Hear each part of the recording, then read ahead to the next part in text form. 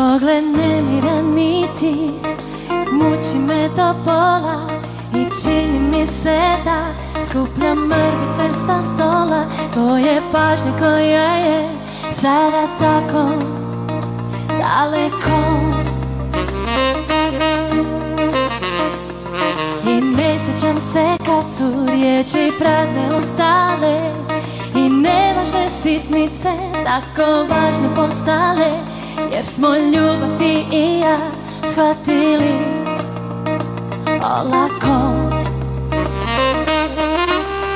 I sada dođe mi Da iz svega glasa vrisnem Dođe mi Da svoje srce opet stisnem Da ga sačuvam od bola Da ne pukne na pola ponovo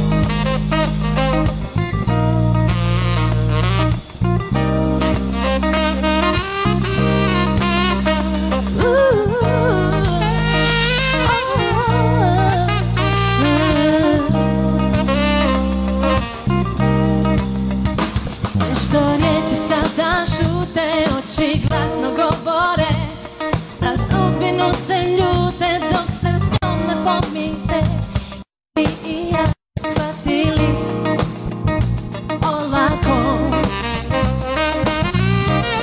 I sada dođe mi Da iz svega glasa vrisnem Dođe mi. Da svoje srce opet stisnem Da ga sačuvam od bola Da ne pukne na pola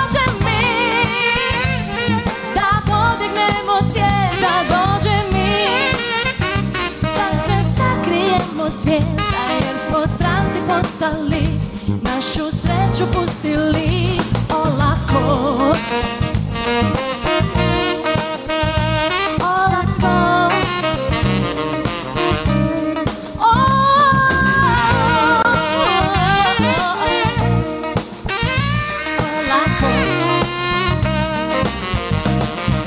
Sada dođe mi